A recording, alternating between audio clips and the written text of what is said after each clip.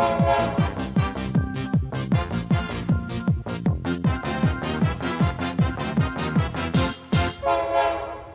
everybody. Welcome to our talk. I'm Nathan Smith from Chef Software. This is, I'm Robb Kidd, also from Chef Software. and our talk is about uh, strong practices for continuous delivery uh, using Ruby on Rails and Chef Delivery. And um, I'm a I'm a engineer at Chef.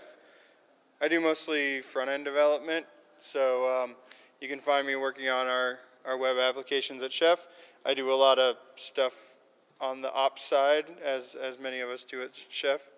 And uh, how about you, Robb? Uh, I am on the community engineering team. I maintain a Rails app that is the uh, like Ruby Gems equivalent for the chef community. Supermarket web app, uh, the community site where cookbooks are shared. Um, I'm a sysadmin by trade and a software developer by happenstance.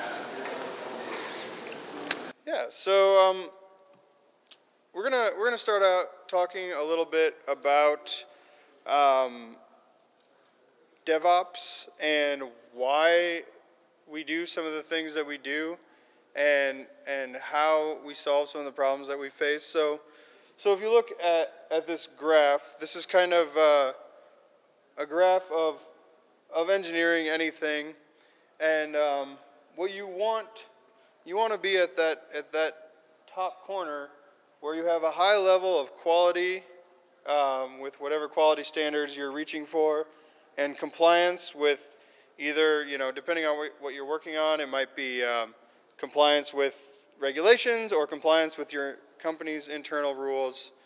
But you want you want your stuff to be good, and you want your stuff to, to have compliance, and you also want to go fast, and you want to have a high rate of innovation to be able to try things, break things, do things, and create new things.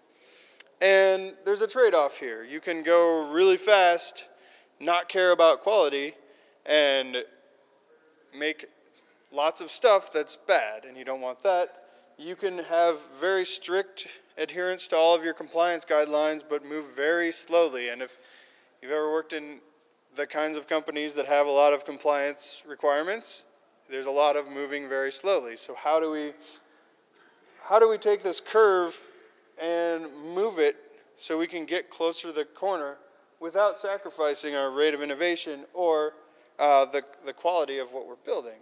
So some of these processes, uh, these are some of the challenges that, that exist in, in engineering software. So we have, uh, we have manual processes where things can take a long time to spin up a new server, get new hardware, um, acquire some kind of software you need. So I'm just going to kind of roll through these different challenges and, and things that we can do to help solve them. So with manual processes, we want to automate. So we want to be able to build, build and use tools that let us get rid of these manual processes and be able to do things more in a, in a more automated fashion. So a lot of us are probably using uh, cloud for, for this. You know, it's, it's a lot easier to spin up an EC2 instance than it is to order and rack and stack new hardware. Um, another thing is, is moving from, from legacy systems that are, that are a lot harder to change to dynamic infrastructure. Again, some of that cloud-based infrastructure that lets you uh, do a lot more dynamic management and, and be a lot more flexible in what you do. Um, in our organizations, um, silos can be can be a problem that, that don't let us collaborate in between teams. Um, so what we want there is is to build a culture where there's common trust and collaboration between teams, and we can work to, towards those goals to increase our in, increase our quality and the rate at which we innovate. Um, and then, if you've ever tried to deploy something where you've made a lot of changes over a long period of time, when it's time to deploy that, it's really painful because so much has changed. But if you can decrease the size of the batches that you're sending out and continuously deliver your applications, um, then it's a lot safer to make those small changes and your customers get them a lot quicker rather than having to wait for a big release. Um, and then we have, we have regulatory burdens where we have we have these compliance rules that we have to keep up with, and we, the way we can increase that is to integrate what we're doing for our compliance workflow into the very beginning, and we can build safety and security um, end to end, so we don't have to have this this stage at the end where we have to now we've done our thing. Now we have to wait to go through this this arduous compliance process. So these are some these are some challenges and some some techniques that we can use to uh, to deal with those challenges. And then the, the result of that is we take this curve and we move it. So we can build higher quality things that are more compliant and we can do it faster by, by applying all these principles. And we put things like dynamic infrastructure, infrastructure as code, and um, DevOps, then those are the ingredients we can use to increase the. What's DevOps? DevOps. Well, let's talk about DevOps. Why don't you tell me what DevOps is? I, I got a slide for you right there. Well, uh, at Chef, we have determined, uh, you should always be wary of somebody who's defining DevOps for you, because vendors do it a lot. We're a vendor, and I'm about to give you our definition of DevOps. Uh, we believe at Chef that it is a cultural movement and professional movement focused on how we build and operate high velocity organizations. And our, the movement uh, and experiences come from the experiences of the practitioners. Um, that's a mouthful, and it's kind of dense, but we believe that uh, organizations move quickly, not necessarily software. Organizations that move quickly move quickly with software. Right, and and the the formula for that is, you have good people, they build. How about this? Let me start over. You have great people, build great products, and those great products build great companies. If you have sad people, they're going to build sad products and they're going to make sad companies. So, what you want is the ingredients and the people and the culture that will let you build great products and great companies. How about diversity? Diversity uh, is super important. Um, all people should be welcome at the table and included in uh, designing systems, making changes to systems. Uh, it is through diverse perspectives that you get new perspectives on how to solve problems and uh, uh, maybe even prevent them. Well said. And another, another thing that you're going to hear, if you start learning about DevOps and, and this movement and the kinds of companies and people who are, who are doing stuff in this way, you're going to, you're going to learn some Japanese, or at least you're going to hear Japanese words. You might not know what they mean. Um, because a lot of this philosophy comes from uh, originally from the Toyota production system and from a lot of work that was done, um, done in Toyota and in other companies to in, increase quality in their processes. And so there's a lot of this lean, these lean words. So we have, we want to eliminate non-value added action. So eliminate waste. And Japanese for that is muda, I guess it says right there. Um, and then you want to have a system, uh, if you ever used a system like Kanban, where you want to pull the work in rather than, than pushing it through a system. And um, Kaizen is a word that means continuous improvement. So as you're going through these processes, you want to be looking at what you're doing constantly and finding out how to improve the process over time. Um, but then sometimes, instead of making these small changes, you're going to want to do what's called kaikaku, which is a big disruptive change. And you want to do these things in small batches. You want to do experiments and be constantly improving what you're doing. Um, and one of my favorite books uh, you should go read is called The Goal. Uh, it's by Eli Goldratt.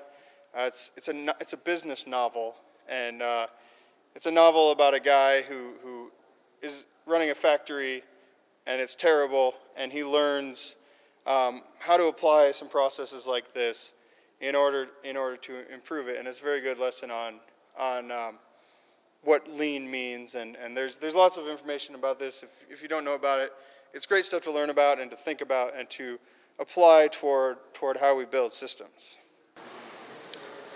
Uh, and if you're going to move quickly, you need to embrace failure. You need to prepare for it and uh, treat failure as a learning opportunity. Um, hold postmortems when there are outages or breakages or um, breakdowns in the process, and not hold people to blame, but to take them as uh, you know, hold learning reviews, so that uh, the organization can learn from that experience and improve. Right, and um, you're gonna want to you're gonna want to automate everything because the the more manual things you have, those are those stand in the way of what you're trying to do. So this you can make donuts, but if you have this donut machine, you can make a lot more donuts, and we want to make a lot of donuts, and we want you to make a lot of donuts. So the rewards of uh, adopting a DevOps culture and workflow is that you will deploy more frequently. Because you can deploy more frequently, obviously your shipments are faster, and so your customers get changes faster, and presumably they are happier. Uh, you will have a shorter mean time to resolution when a problem is discovered to when it gets resolved because you have gotten very good at pushing change out into production and in front of users. Uh, the ability to push new features is also the ability to push security updates or bug fixes.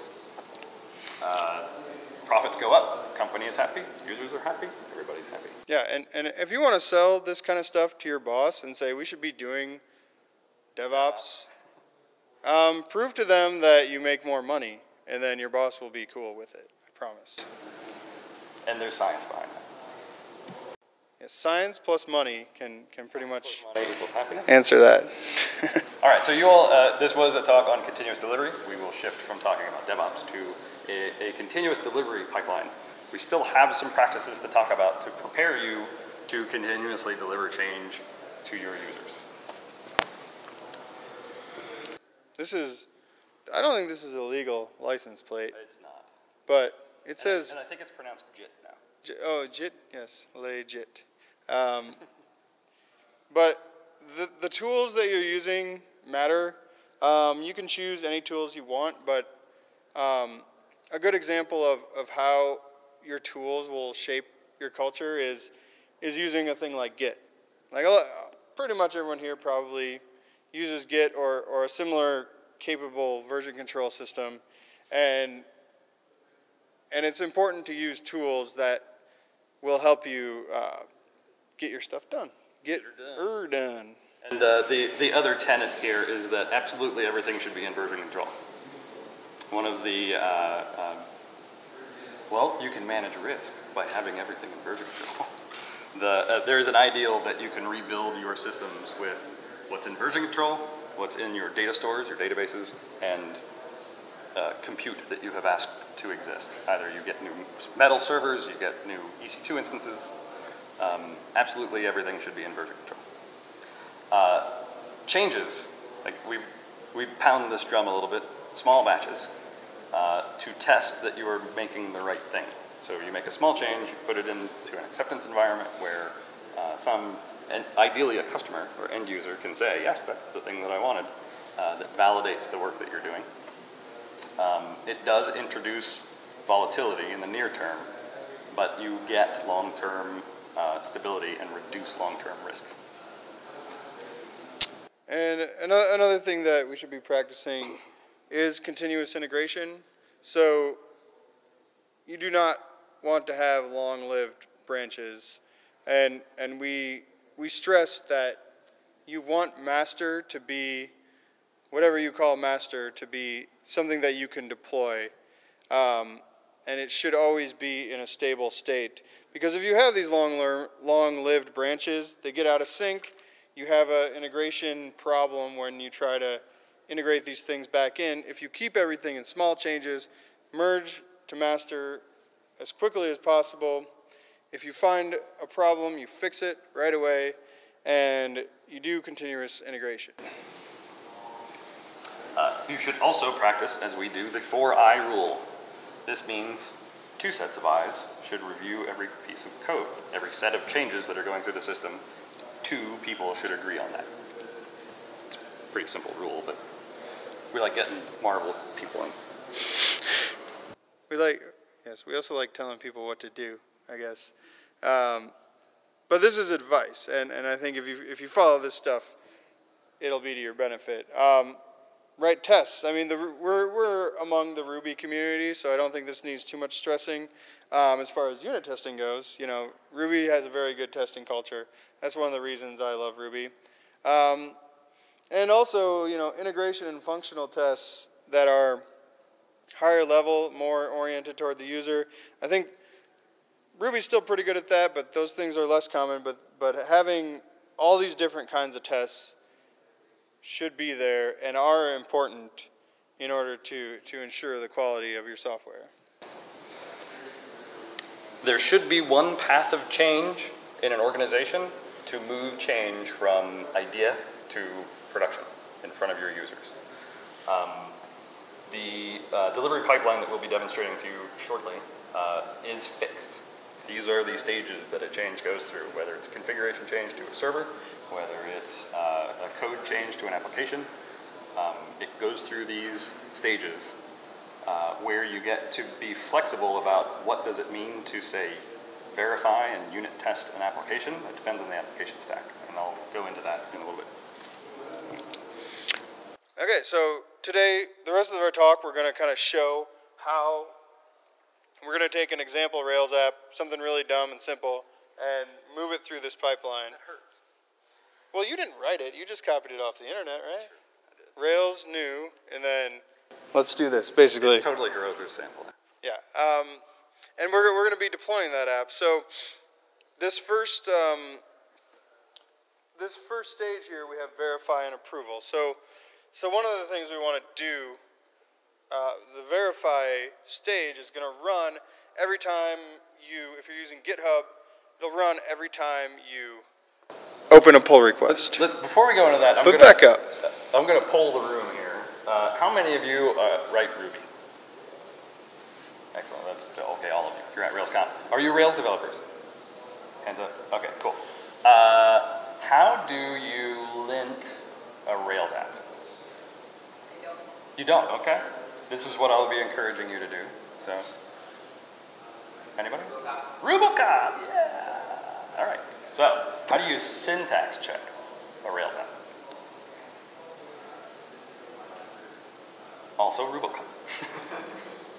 Turns out, uh, in the Rails community, we have a lint and syntax checker that uh, we can use one tool. So that'll become important later. And and RuboCop, RuboCop can be kind of a jerk and, and pull you over and and give you a ticket and not be very nice.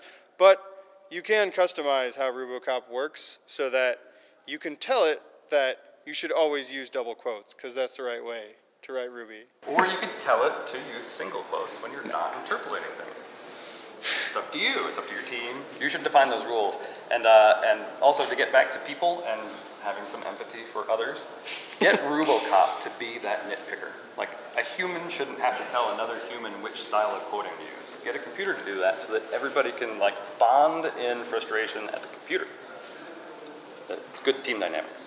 All right. So how do you unit test Rails app? This is where we get maybe a little controversial. I don't know. Anybody? Unit testing a Rails app. RSpec. What No else? controversy there. What else? What else could you use? Minitest, absolutely. It's up to you. You can use RSpec or Minitest. For our purposes, we'll be using RSpec in uh, our demo. How about security testing a Rails app?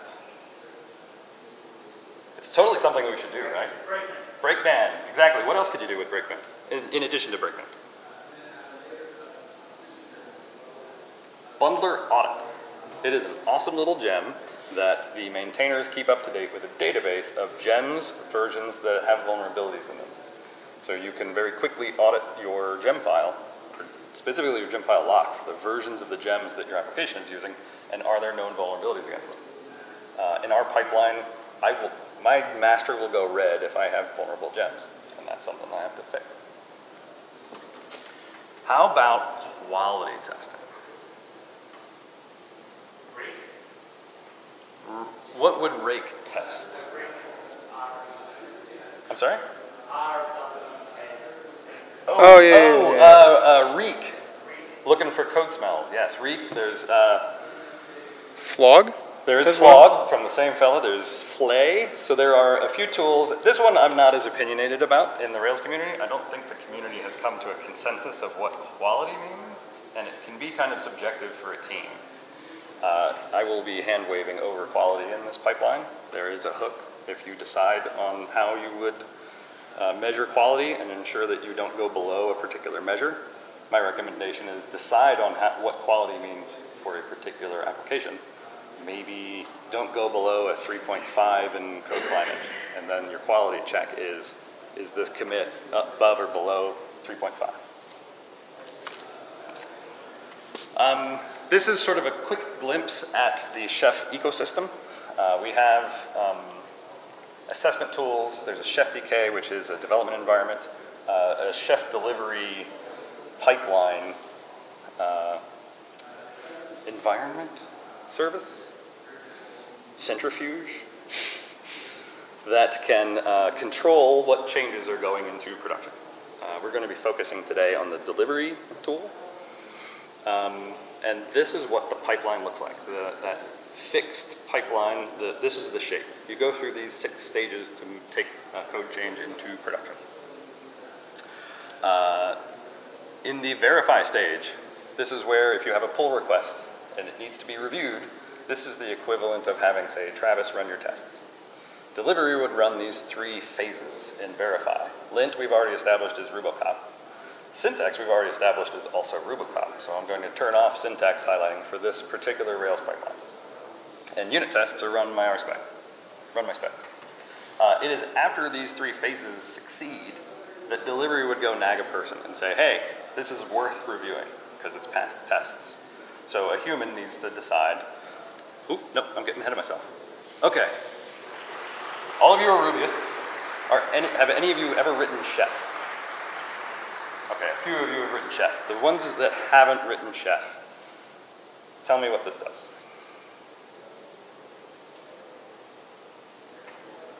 This is not a trick question. It runs Rubocop. uh, if you cross your eyes, you see it's just Ruby. It's a execute method. It takes a parameter. There's a block that does a thing. Uh, so this is the lint test in our delivery pipeline. That's the code that does the lint testing. This is unit. Do you, do you see the difference? it runs the spec.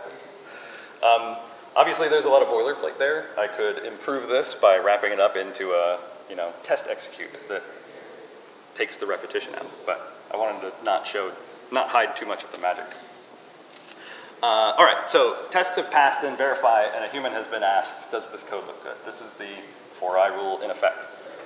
Um, uh, a, a, human decides whether this change looks good. It looks great. It looks great. All right. We're going to move into the build phase.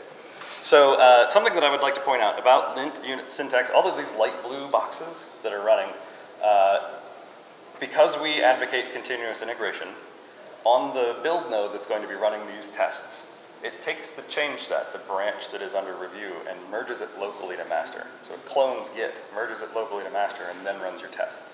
Because if it doesn't merge cleanly to master, it's not been integrated against the master. Continuous integration. It might run on your feature branch on your laptop, but delivery will tell you, hey, you're out of date. And you have an opportunity very quickly, because your branches don't live long, to catch up to master. So, uh, in build, we rerun lint syntax and unit because it might have taken a while for a human to push approve. So master might have changed. So we merge it to master at this point in the central repository and rerun lint syntax and unit to make sure that everything has integrated correctly. If those pass, we move into security and quality. Uh, I'm hand waving quality, but in security we'll run Brakeman and Bundler audit. And then we move into publish. Uh, what is publish? One of the messages I want to, uh, that we would like you to get out of this is make a release artifact and promote that into staging and production. Um, you should not be running bundle install in production. You should not be running bundle install in staging. You should be building a release artifact and then testing that in your integration environments.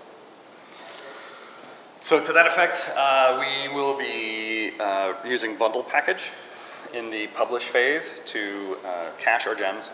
We asset, uh, precompile our assets, and then we put that into a tarball. We're going to be deploying to Heroku, so the, um, the choice of release artifact format depends on your production environment. So in this example, we're going to use Heroku, so I'm going to give it a tarball that I have pre-cached stuff in so that I don't depend on Heroku being able to reach Ruby gems or needing to compile my assets. So, so Chef Delivery, that's, it's a program for deploying apps to Heroku? It could be. It is a, it is a uh, build pipeline that can deliver to just about any environment. So, could I use it on EC2? Yes. Okay. But not on, not on like physical machines, No, though? you can use it on physical machines. Okay, okay, okay. I'm Uh, using Heroku because I don't want to blow any minds. Yeah, we're trying, we're trying to kind of focus on, on the, the delivery pipeline and, and how you get an app through it. So a simple way to do that is to just use Heroku. Um, if you're just using Heroku as you normally do, going through their tutorial, you're probably not going to use these APIs directly. Uh, you probably haven't, you might not have heard of the Heroku Source API, but there's an API on Heroku that you can upload anything to, and it'll give you back a URL, which is just an S3 URL, where you can get that artifact. Um, so we're just kind of using that as, hey, we created a tarball of our thing, so we need to put it somewhere. Heroku conveniently has a place, and we can use the URL that it gives us in the Heroku build API. This would be the secret code, the peek behind the curtain. When you do a git push Heroku, all of the tasks that it takes, whether you're asking Heroku to do the uh, bundle installs or whether you do it ahead of time with this tarball, in the end, when Heroku has gotten your app uh, runnable, what they call that artifact at the end that is the runnable state is called a slug. And this is a way to poke the API with a tarball to get a slug out of it. Right. And, if you if you are just using Heroku, you, you might not need to do this, but to kind of think about the, the flexibility of, of how Chef Delivery works, um, say you're using Heroku and then you get big and Heroku's not economical to use anymore, and you want to switch over to do, using Chef to spin up EC2 instances and deploy your app that way. Um, then you can use your same workflow and your same pipeline and for the, the end u- the developer end user nothing's going to change and everything's going to work the same way so so this is another reason to just let's take the simplest possible thing and deploy with Heroku Right. So the simplest po- possible thing, the thing that I'm going to do if I succeed at making that release artifact, and in our case it's a slug, a Heroku slug that Heroku stored, and I have an ID that that is the identifier for that release artifact that Heroku is storing for me. I could move into an acceptance environment, and in the accept- acceptance environment, I'm going to spin up the app at this version that's being tested, and uh, test it, and then make it available to a human to uh, accept the changes. It's a little bit like a QA environment, but we use acceptance. Uh, in the provision phase, I'm going to make sure that a Heroku app exists that I could deploy to. Uh, if you were in EC2, the provision phase would be spinning up uh, a VPC and a load balancer and your web nodes and maybe a database and all. It's make sure you have runtime infrastructure in place to deploy to.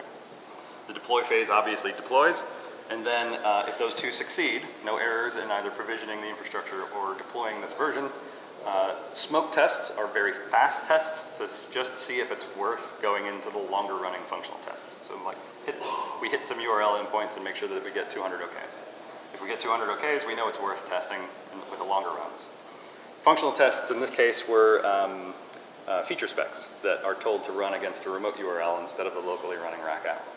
yeah so capybara maybe. Capybara, yeah, Capybara. it's a good thing to use use cucumber So, so what does uh, so using the Heroku API in this example, uh, what does provision and deploy look like? It says uh, the app name, project stage. Stage is I'm in the acceptance stage right now, so it would make me a project acceptance uh, Dino app. Um, I poke Heroku app create with some parameters and say I want to make sure that this app exists. Uh, this is a simplified version of the code. There's a little thing that make, if it already exists, it's fine. Uh, and then that succeeds. I test that succeeds. I have an app. It might not be running anything yet. And then in the deploy, I'm using the uh, API again to say, hey app, you have just come into existence, or maybe you're using, maybe you still exist from the last time I ran, I want you to run this version. And you poke it with a slug ID. And Heroku handles spinning that thing up. And you're not running bundling, installing them, and you're not compiling gems, and you're not compiling assets. It's ready to go. So it's a very fast swap out at Heroku. Uh, and then you have an delivery will poke a human again and say, all right, acceptance is up. It's passed all the automated tests, and now a human needs to go and decide, has the, uh, was this change implemented correctly? So I have an opportunity, like a QA group can now go and poke a thing and confirm that like customers would want to see this. And your choice now is, do I deliver this to production? If you decide to, you hit the little button that says deliver, and it moves into a union environment, and it runs those same four stages provision a union environment, uh, deploy our application to the, uh, to the environment, smoke test it, and functional test. What is different about Union is that Union is the environment in which all your components run. And your tests will test against other components that are related to this pipeline, but not directly in it. Um, if you have a front end app and a back end app, the front end, a change to the back end would get through acceptance, but then in Union, it would be tested against the latest front-end app. And smoke tests and functional tests for the back-end app would also run smoke tests and functional tests for the front-end app. So you would find interaction errors in Union. Some people call Union staging. We call it Union because it has a very uh, intentional purpose to be the first opportunity for the uh, delivered versions of all of the components of a, of a system be tested together. Uh, if union is green, all the tests pass, it automatically, a rehearsal environment is spun up. I'll explain rehearsal in a moment. If rehearsal is green, all the same tests pass. Uh, it moves on to the delivered environment, which is probably your production environment that your users are hitting. I, am reading your minds, and your question is, what's the purpose of rehearsal? Uh, if union breaks, if you discover an interaction error between two components that were tested in isolation and acceptance, and they break in union, uh, you need to fix it. So union has gone from green to red, and now you need to push a change through the pipeline again to bring union from red to green. Rehearsal is where you test going from green to green and ensure that the fix for the, for the error does not assume that the system is broken. Uh, my example, my go-to example are schema migrations. If you have a schema migration and then your data looks wrong, if your fix is, I assume the data looks wrong and I make it right, in an environment like production where you didn't break yet, if your fix for the uh, fix for the data error, the schema error, is the schema is broken, it's not going to pass. So uh, rehearsal is an opportunity to go from green to green and catch it there. And we can we can kind of show um, a little bit of the, the chef delivery UI, and then we'll have a few minutes for questions. I, am not on the internet right now. You're not on the internet right now. Oh, okay. It might take me a minute, but if you stick around, we can show you. Yeah, yeah, we can show. You. So, so pretty much, um, when you're using Chef Delivery, which which you can get with a Chef Premium subscription, um, you you have a web interface. You can run a delivery cluster that has build nodes, and um, it has a web interface where you have you can visualize all this stuff happening, and you can um, see the output from your test runs. You can click a button to approve things, and, and it is important that we have those those manual gates are built into the system um, in order to ensure that we can have a human look at a thing. Um, so if you want to stick around, we can kind of show you show you on the UI of delivery. But um, now we can we can take some questions if you have any. All right. Well, thanks for coming, everybody. We really appreciate it.